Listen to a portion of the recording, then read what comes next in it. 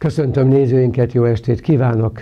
16 évvel ezelőtt rendezett televíziónk nagy véradónapot, azóta minden évben megszerveztük, a fő cél mindig a véradás volt, még akkor is, hogyha az aulában igen sok programmal vártak az érdeklődőket. Így volt ez ebben az esztendőben is, október 19-én 10 és 18 óra között vártuk a véradókat. Természetesen most is voltak előadások, szűrések, a következő magazin műsorunkban erről láthatnak egy átfogó képet. Egyébként az idén nem 10 órakor kezdődtek az események, hanem már 9 órakor még hozzá az Óváros téren egy közösségi futással.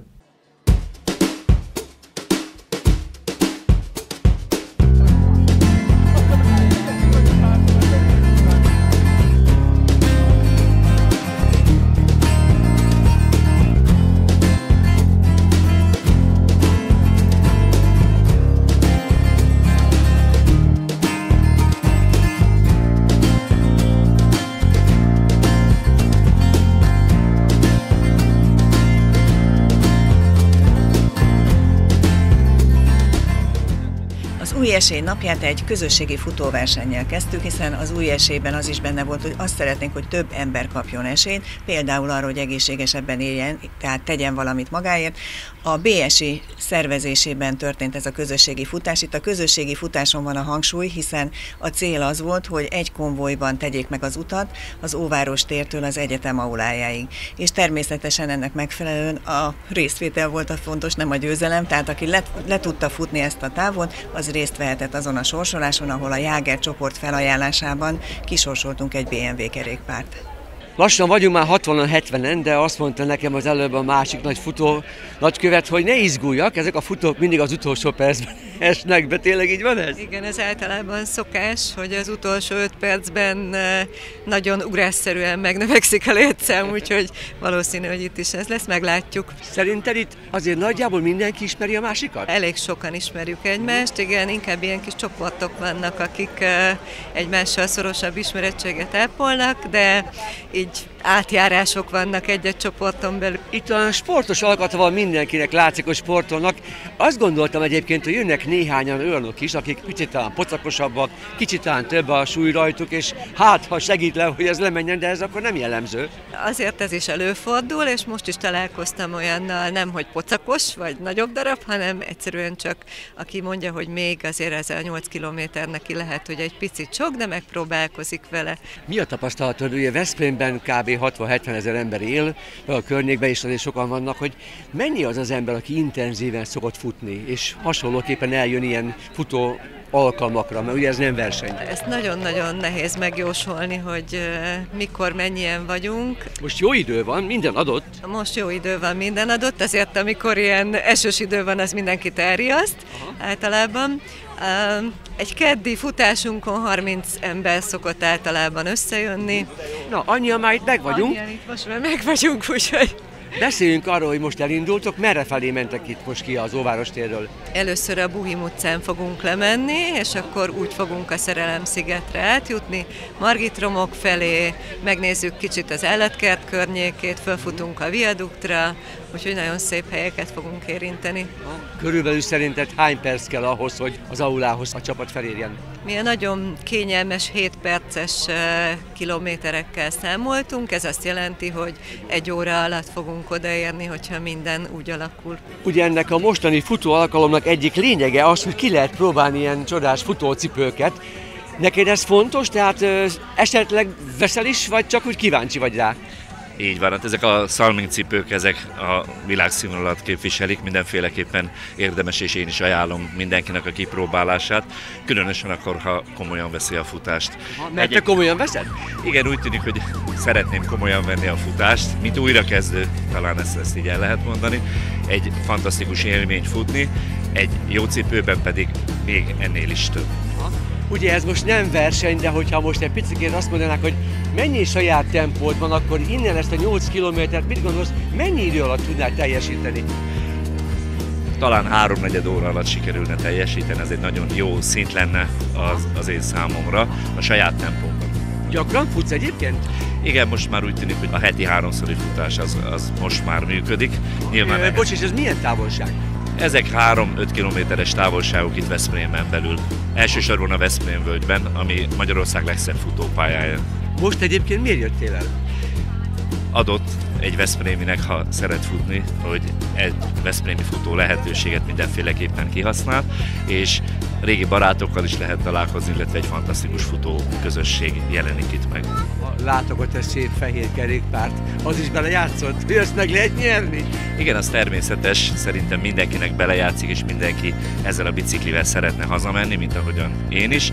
Egy BMW biciklivel ritkán teker haza az ember, pláne úgy, hogy futva indul el. A futóversenyen 88-an vettek részt, illetve 88-an érkeztek meg együtt a célba, és nagy örömünkre szolgált, hogy nem csak a középkorosztály a szülők futottak, hanem gyerekek is, annál is inkább érdekes ez az eredmény, hiszen a nyertes is egy kisgyermek lett. Hát, kedves apuka, azon gondolkodom, hogy és akartak kezdem önnel, ki lehet most a boldogabb? Mit gondol? Hát én nem is tudom ki, még, de én úgy gondolom inkább a Kornél, Kornél a boldogabb. Az a vicces, hogy tényleg eljöttünk ide, hogy jól érezzük magunkat, futunk egyet. Hát életünkben nem nyertünk még soha ilyen rendezvényen, soha semmit. Mondom, az lesz a lényeg, hogy futunk egyet, és mikor tetszett mondani, hogy kék, hát mondom, kék szelvényünk az még van. Jó, és akkor még volt benne egy trükk, hogy 81 visszafelé, ránézek, mondom, nem hiszem el, de tényleg ez elképesztő, úgyhogy nagyon boldogok vagyunk. Tehát Aha. szeretünk biciklizni, futni, az aktív életmód, ez nagyon fontos számunkra. A fiam ugye az esőesébe e, fut most már, úgyhogy e, e, nekünk ez így nagyon jó volt. És örülünk a szervezőknek is, mert őket is ismerjük, Andrásik nagyon jó futásokat szoktak itt szervezni Veszprémben, úgyhogy tehát le a kalappal, nagyon jól éreztük magunkat. Kornél, te azt mondtad nekem az előbb, amikor a díjat átvetted, hogy tulajdonképpen neked már van egy kerékpárod, egy csepel, igaz?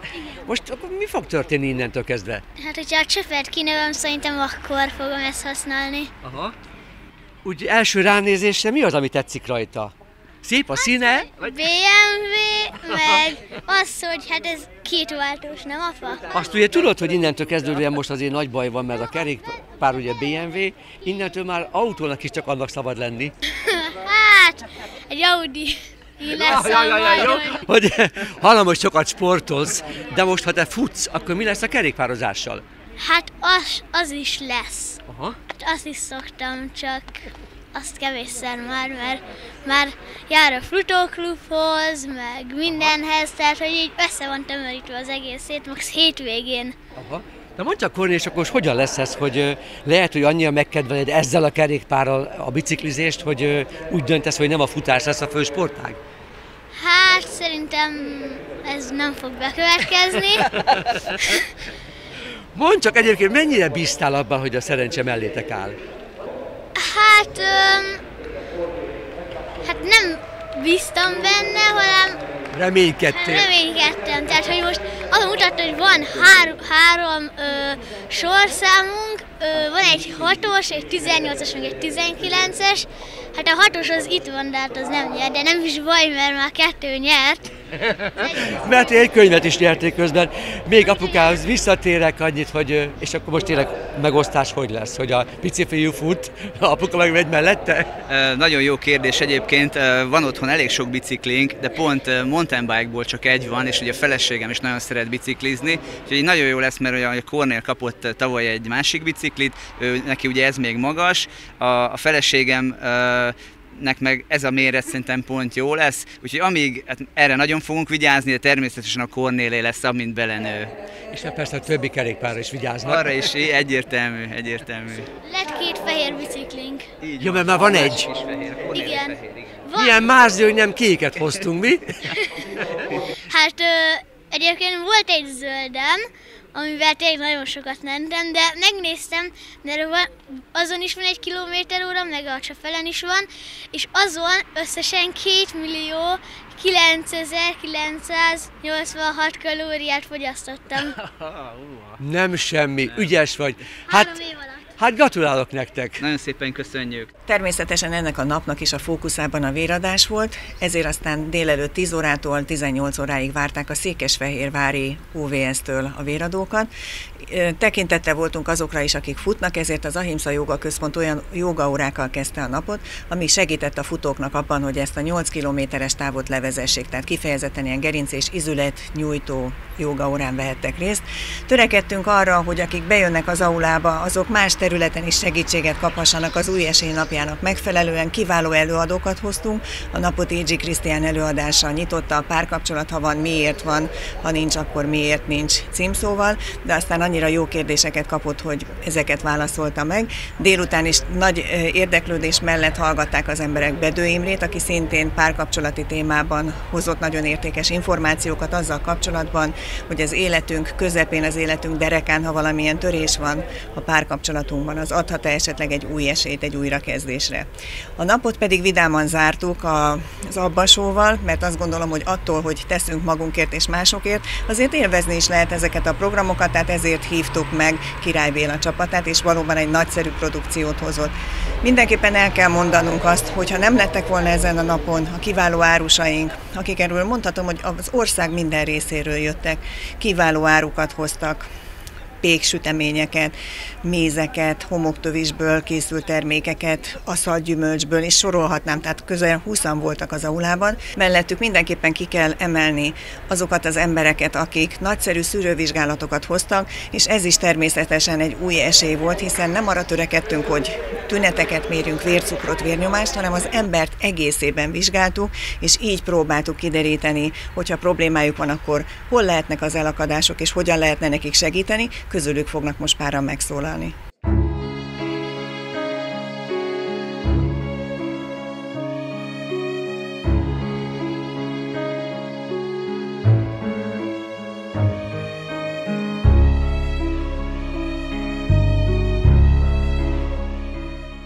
Amikor megtudtátok, hogy lesz az új esély napja, akkor örömmel jelentkeztetek. Mi volt az indítatás, ami miatt ezt fontosnak érezted, hogy a kolvé itt legyen?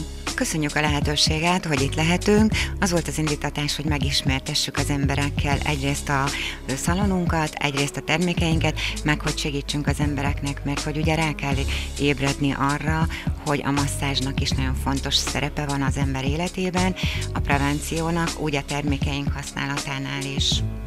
Akkor mondhatjuk azt, hogy egy masszázs, például egy ülő masszázs, amit a munkahelyeken is kiválóan lehet alkalmazni, ez ma már nem luxus, hanem az egészségmegőrzésnek vagy a stresszoldásnak lehet egy módja? Igen, mindenféleképpen ez fontos. Mekkora erre a kereslet? Egyre inkább jönnek az emberek, de sajnos az a probléma, hogy egyelőre még csak akkor, amikor a probléma van, tehát nem megelőzés céljából, pedig sokkal könnyebb lenne mindenkinek az élete, hogyha már megelőzés céljából jönne, és hát előre, előre gondolkodná egy kicsit, és nem akkor, amikor már fáj. Van egy másik portfólió is, ugye, hogy olvasom, hogy mi van a rollapon, hogy szépség és egészség, egycsebben halkollagénnel, ez akkor egy másik vonal, ugye? Tehát akkor fontos az egészségmegőrzés, de ebben van akkor egy kis bőrápolás is.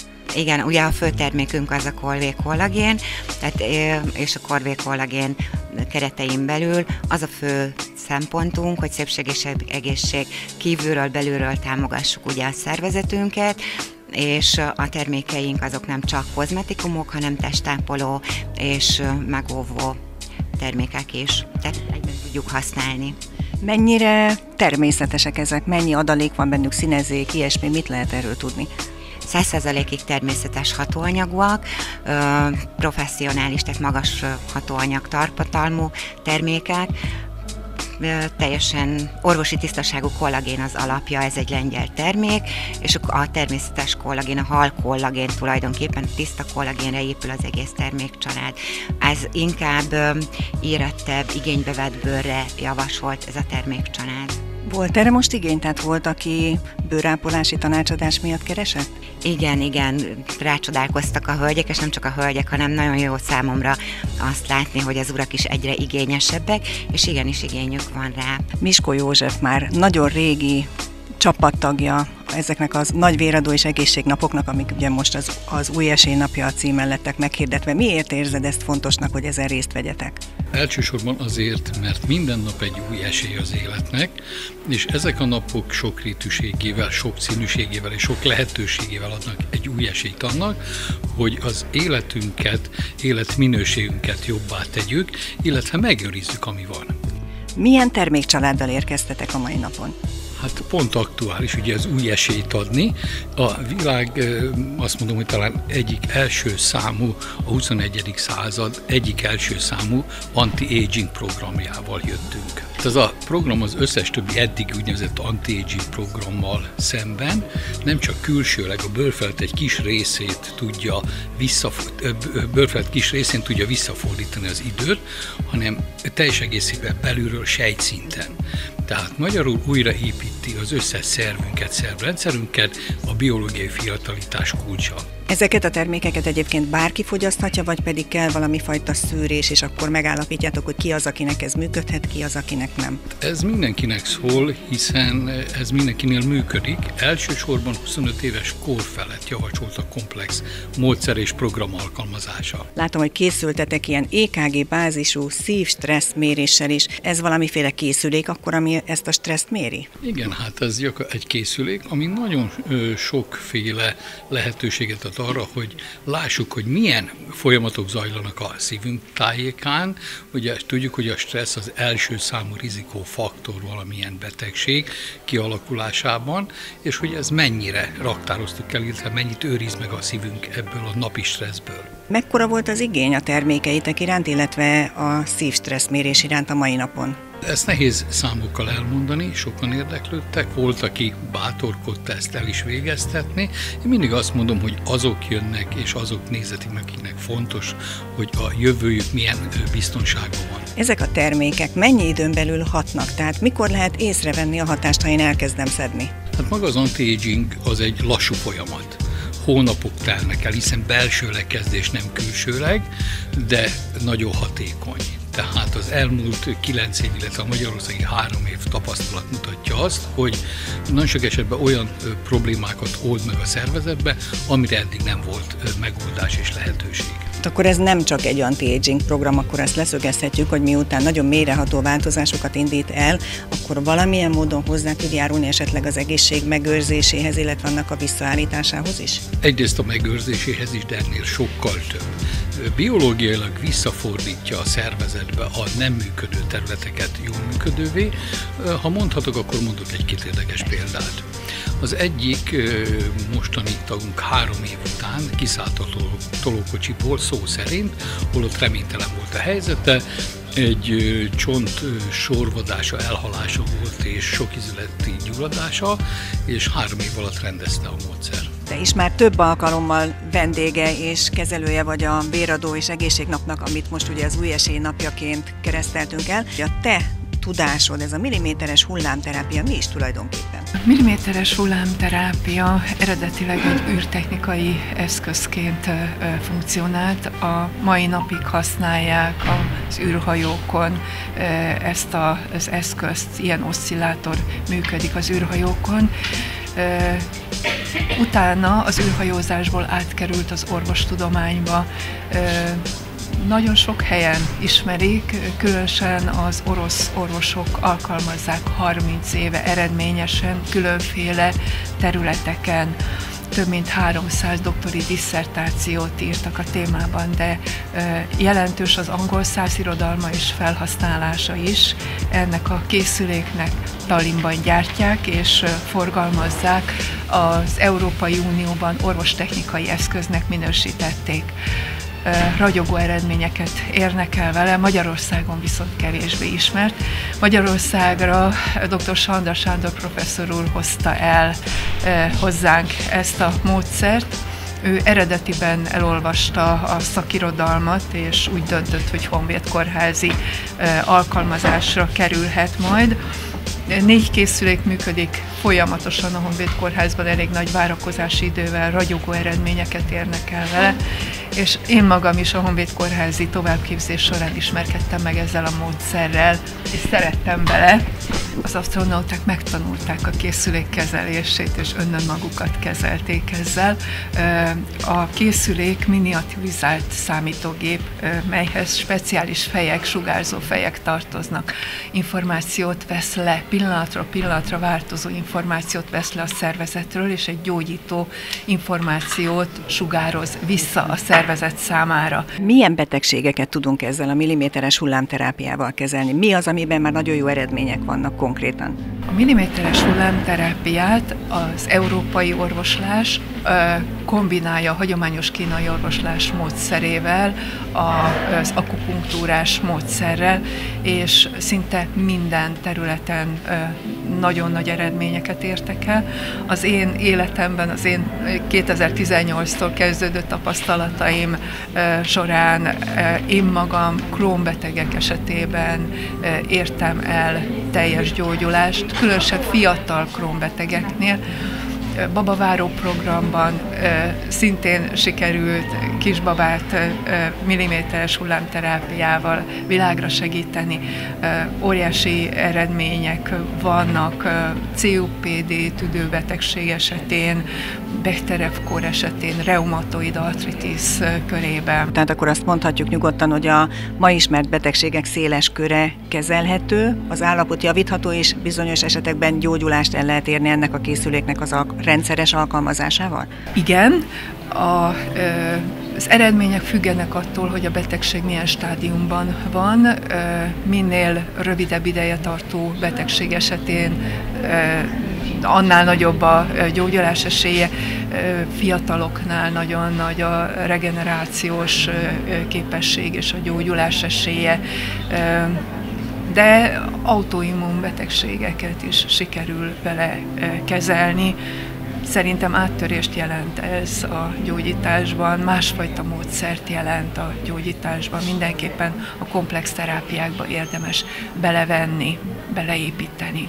Te is már többször itt voltál velünk a Nagy Véradó és Egészségnapon, de eddig mindig a gyógypedikűrt népszerűsítetted, most pedig azt kérted, hogy inkább azt mondjuk, hogy lábdiagnosztika egy gyógypedikűr és gyógyító szemével. Mi az, amit lábdiagnosztikában meg lehet állapítani? Egyáltalán a lábdiagnosztika és a talpdiagnosztika az ugyanaz?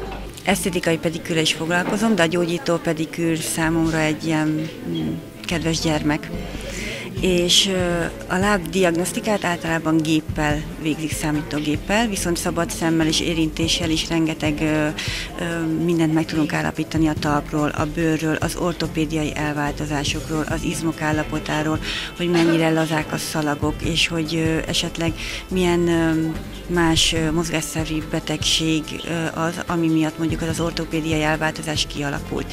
És ebben segítek tanácsadással a vendégeimnek.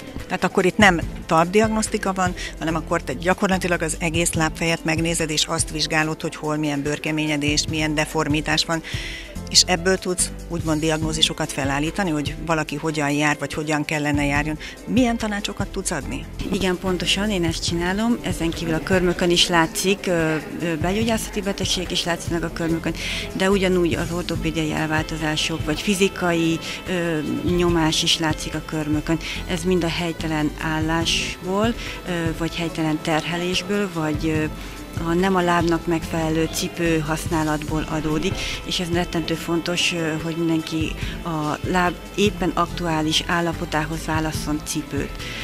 A cukorbetegeknél nagyon fontos a diabéteses cipő igénylése a megfelelő rendelésen, és ezt hordják is, nem véletlenül kellene nekik ezt hordani, mert nekik ez rettentő fontos lenne. A bőrük állapota nagyon sérülékeny.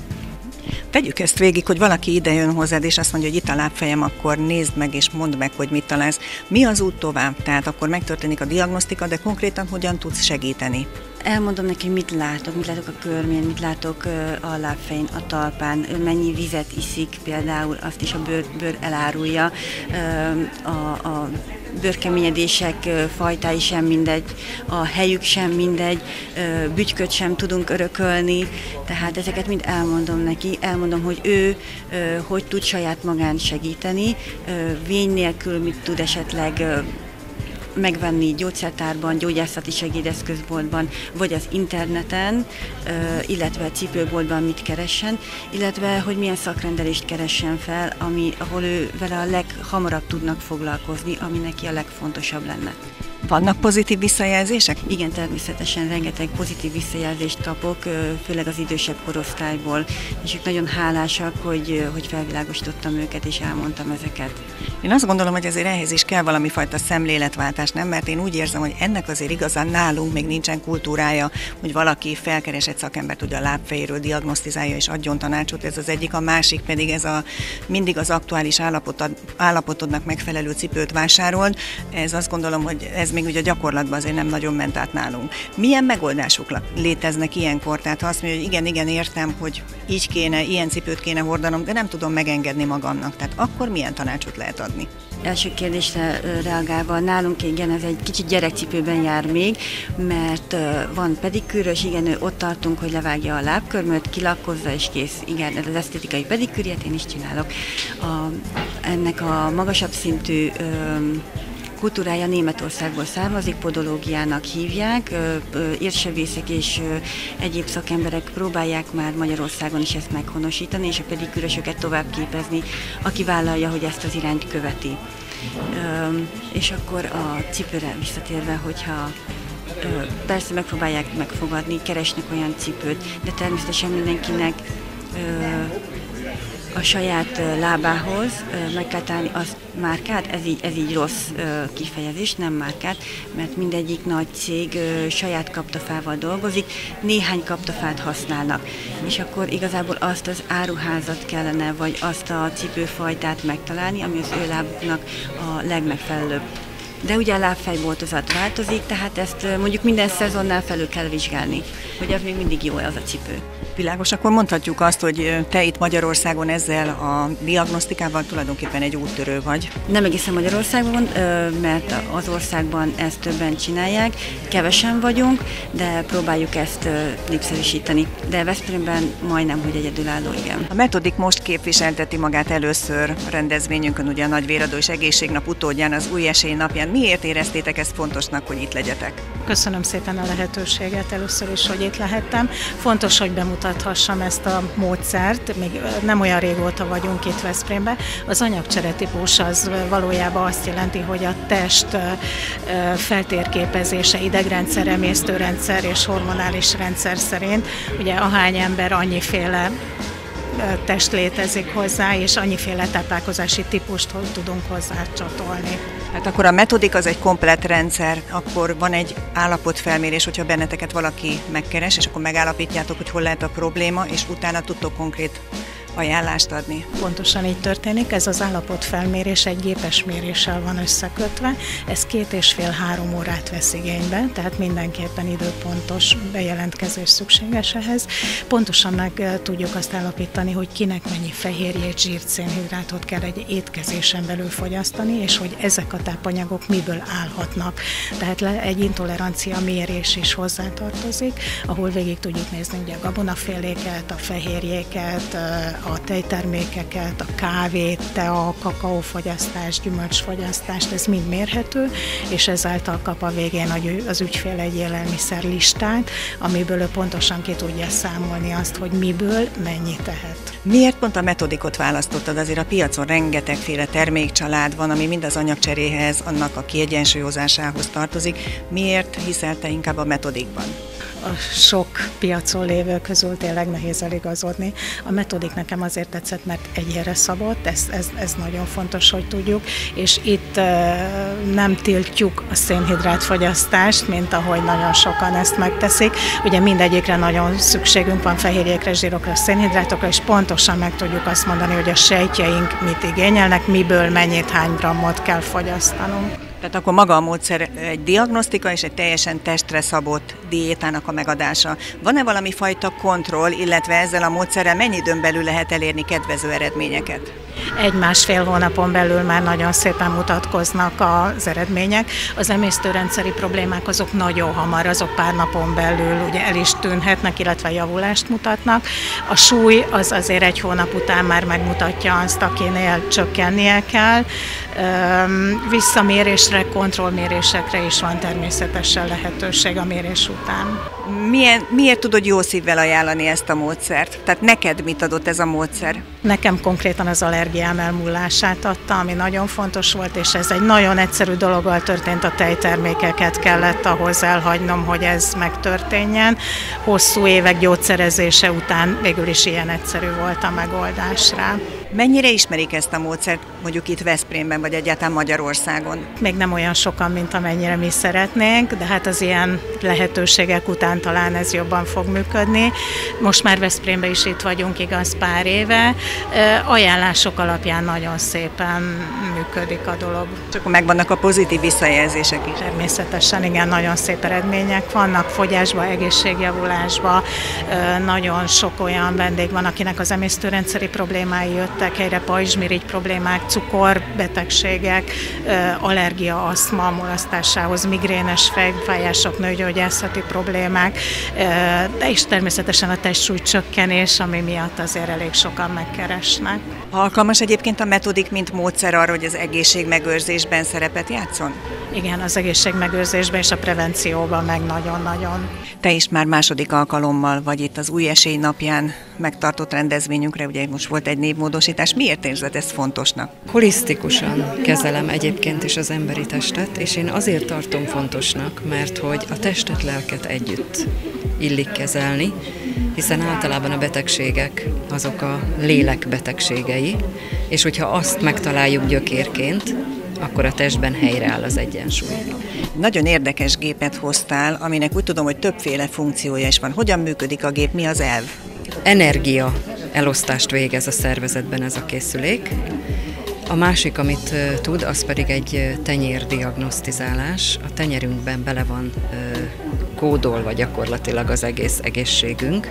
Minden szervnek a megfelelő pontja megtalálható, és hát ezeken a pontokon keresztül egy olyan egyszerű és tiszta diagnosztikát lehet fölállítani az egészségről, ami, ami mellé nem kell mellé beszélni, tehát nincs tévedési lehetőség, a tenyerem jelez vagy nem jelez, egyértelmű. Mit kell, hogy jelezzen a tenyér?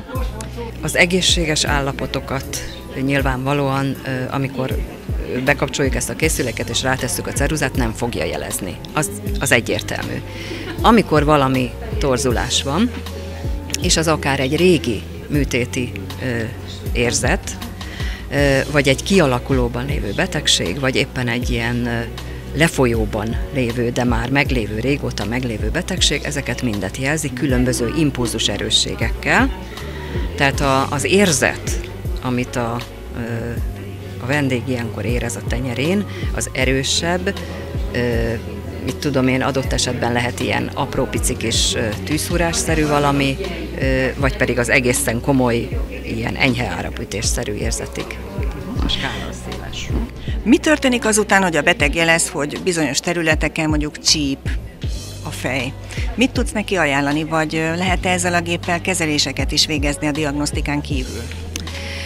Amit rögtön utána el tudunk végezni, az egy energiakiegyenlítés, tehát amikor mindkét tenyerét ráhelyezi erre a készülékre, és gyakorlatilag a meridiánokban kiegyenlítjük az energia áramlást.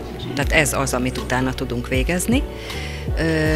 És hát amit tudunk mellé ajánlani, az elsősorban az önvizsgálat, tehát az érzelmi önvizsgálat, és hogyha az párosul valamilyen kezeléssel, tehát mindegy, hogy milyen területen van neki, vagy orvoshoz megy, vagy nem megy orvoshoz, bármit csinál önmagával, akkor ott az eredménynek is jelentkeznie kell. Alkalmas ez a készülék arra, hogy például az egészségmegőrzésnek a része legyen? Abszolút, tehát ez egy preventív készülék, egyértelműen egészségmegőrzésre. De amikor felhívjuk a figyelmet, hogy itt vagy ott van valami kezdődő dolog, egy kicsit többet kellene mozogni, egy kicsikét át kellene alakítani a táplálkozást, vagy bármilyen javaslat van, tehát ez én azt gondolom a prevenció kategóriája. A mostani vendégednél éppen mi történik? Mert azt látom, hogy a két keze rajta van a gépen. Itt mi történik? A kiegyenlítés, tehát itt már töltés történik, itt már gyakorlatilag a, a meridiánoknak az egyenletes elosztását végezzük. Használható ez a gép rendszeresen, akár minden nap mellékhatásmentesen? Abszolút, tehát semmi olyan mellékhatása nincs, ami kizárhatná, hogy ne használhatnánk. Két egyszerű elemmel működik, tehát kizárt, hogy bármilyen károsodást okozzon a szervezetben. A Reider Optika már 16 éve részt vesz a Nagyvéradó és Egészség napon, ami most ugye az új esély napja néven került megrendezésre. Miért érzi ezt fontosnak, hogy ezen részt vegyen? Azért, mert ha megelőzünk valamit, időbe felfedezünk valamilyen eltérést, akkor sokkal könnyebb elhárítani a későbbi nagy bajt. Egy ilyen alkalom, mint e- ez az egészségnap, mire ad lehetőséget, milyen típusú vizsgálatokat lehet elvégezni? Itt mi szűrünk, tehát vizsgálni nem, ugye az laboratóriumi körülmények között lehet vizsgálni, pontosan mérni. Ez nem, ez arra való, hogy felismerjük az elváltozásokat, felhívjuk a figyelmet arra, hogy milyen vizsgálatok szükségesek, mert észreveszük a diabéteszt, észreveszük a magas vérnyomást, teljesen egyértelműen, észreveszük a szürke hályogot, a zöld hályogot. És hogyha ezt időbe tudomására hozzuk, nem mi fogjuk megállapítani a magas vérnyomást és a diabéteszt, hanem a belgyógyász, de elirányítjuk, hogy tessék, ezeket a vizsgálatokat megcsinálni. Biztos, hogy tévedünk valamennyit, de hát ez legyen a legnagyobb baj, hogy egy-egy diabéteszre utaló nyomokat látunk, és mégsem lesz diabétesz, és ennek örüljünk. Mennyi visszajelzés van azoktól az emberektől, akik az ilyen típusú szűréseken részt vesznek? Örülnek, szívesen látják, és azok, akiknél beigazolódik a feltételezés, azok neki, hogy időbe felfedeztük. Ma délelőtt kettő, egy súlyos és egy, és egy gyanút fedeztünk föl, és megfelelő helyre irányítottuk. Milyen szűrések, vagy még derültek ki a szűréseken? Mondjuk egy-két olyan elváltozást, amire gondolni kell, ami itt kiszűrhető. Az a helyzet egy nagyon érdekes képlete van a vesebetegségeknek, amit nem igazán lehet elkülöníteni érrendszeri betegségektől, ezért mindenképpen belgyógyász, kardiológus, és majd a kardiológus nagy valószínűséggel urológushoz is fogja küldeni az illetőt, tehát elég gyorsan bezárulhat a kör, és a valós elváltozásra fény derül, mert a vesebetegség látásromlást nem okoz. Ellentétben a diabétesszel, a cukorbetegséggel ami jelentős látásromlást okoz, a későbbi stádiumokban sajnos vaksághoz is vezethet, hogyha időben nincs felfedezve, és nincs kellőképpen a cukor beállítva akkor azt is mondhatjuk azért, hogy egy ilyen egészségnap arra is alkalmas, hogy egy kicsit új esélyt adjunk magunknak, hogy belássuk azt, hogy szűrővizsgálatokon részt venni, ez nem valami úri huncutság, hanem az egészség megőrzésének egyik módszere lehet, illetve segít abban, hogy bizonyos elváltozásokat még idejében diagnosztizáljunk. Valóban. De van egy másik oka is annak, amiért én ezen a sorozaton szívesen részt veszek. Részvételemmel támogassam a véradást az egyik legnagyobb gondunk ma Magyarországon, hogy sajnos kevés a véradó. Ugye október a látás hónapja is, ez a rendezvény most ennek megfelelően ebbe ragyogóan illeszkedik, de milyen tanácsokat lehet adni ősszel az embereknek? Én azt hiszem, hogy ősz az, amikor a legkevésbé kell kimélni a szemünket, az ultraviola sugárzás a minimum körüli értéken van, eh, hát annyit, hogy több olyan érdekes változás van, ami nyáron nincs. Hamarabb van sötét, később van világos. A sötétbe ugye a fekete-fehér viszony lényegesen kisebb, tehát amit jól láttunk napfénybe, azt a szürkületbe, sötétbe lényegesen rosszabbul látjuk. Sokkal rosszabbul érezzük a távolságokat, tehát a gépjárművezetésnél mindenképpen tudatosan kell figyelni arra, és óvatosabban vezetni, mert lényegesen kevesebb inger ér bennünket a megváltozott optikai helyzet miatt. A látás hónapjában más jellegű szűrések is vannak, mint például egy ilyen egészségnapon? Mi nálunk igen, mi nálunk egész évben figyelünk arra, hogy nincs-e valamilyen betegség. Tehát mi igazán szemvizsgálatot végzünk, megnézzük azokat a perifériákat is, ami a látást befolyásolják. Tehát nem magát, csak a szemüveget, nem csak egy látásvizsgálatot csinálunk, hanem körbejárjuk, hogy nincs valami olyan elváltozás, ami gyanút ad valamilyen betegségre. És hadd mondjam azt, hogy miután az idén késett a rossz idő október a látás hónapjára, ezért meghosszabbítjuk november végéig a látás hónapját. A Regina Televízió köszöni szépen a támogatóknak a segítséget. Az új esély napjának a fő támogatója a Polygram Kft. volt. Kiemelt támogatója a Fiat Autoforrás Kft. Veszprémből. További támogatóink az Ahimsa Joga Központ, Alsős Község Önkormányzata, az Andromeda Travel Székesfehérvárról, az Autonexus Kft., a Balaton Rébus 98 Kft. Veszprémből, a Budapest Sportiroda, a DGL Kft. Devecserből, az Egyetemi Centrum Kft. Veszprémből, az Északi Szomszédok Nyugdíjas Szövetkezet, a Futókaland Futópont, a Hair and Color Fodrásztik Szaküzlet Veszprémből, a Herendi Porcelán Manufaktúra ZRT, az Index 97 Kft. Gyulapirátortról, a Jáger csoport, Lovasi és Társai Turiszt, az Országos Vérellátó Szolgálat, az Ősküli Önkormányzat, a Pannon Egyetem Veszprémből, a Reider Optika Kft., a Severinus Kft. Veszprémből, a Skoda Auto Pidl Kft. ugyancsak Veszprémből, és Veszprém megyei jogú városa. Köszönjük szépen a támogatást! Kedves nézőink, ezek után pedig köszönöm szépen figyelmüket, további szép estét, viszontlátásra!